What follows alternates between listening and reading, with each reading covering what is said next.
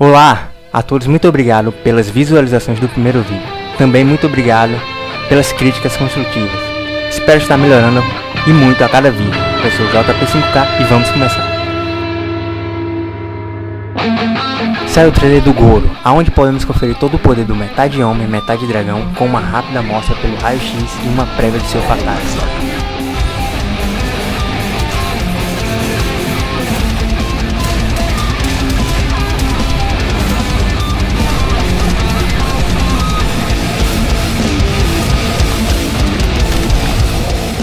E o Mortal Kombat é o jogo do mês de abril, um dos mais esperados do ano, saindo até para plataformas móveis, onde você pode criar uma conta e fazer a junção de sua conta da PSN Live para desbloquear itens e até mesmo ajudar sua facção.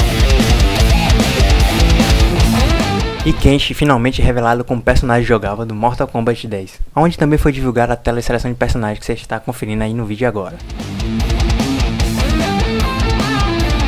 E o tão aclamado Daigo Mehara, que é conhecido por grandes feitos, está se aposentando do mundo dos jogos de luta. Pelo menos é o que diz um anúncio da empresa Free. Mas não sabemos se realmente é verdade. Pode ser uma pegadinha de 1 de abril.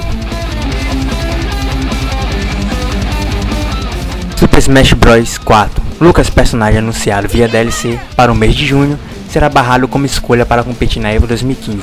Isso por ser lançado um mês antes da competição. Ele se torna inadequado levando em conta o tempo de adaptação dos jogadores, foi o que iniciou Joey Quella no Twitter, um dos organizadores do evento. Ainda sobre o Smash Bros, foi lançado o trailer de Mewtwo, que será lançado no dia 28 de abril.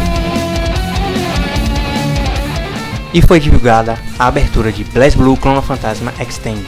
Na abertura espremida, vocês podem conferir quase todos os personagens.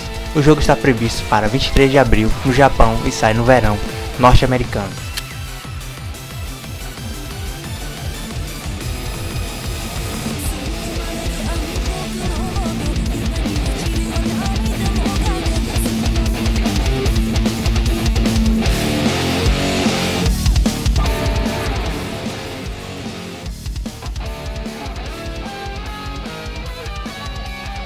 Lembrando que na descrição do vídeo tem um link do site Event Hubs, onde vocês podem conferir a lista de variações de cada personagem de Mortal Kombat 10.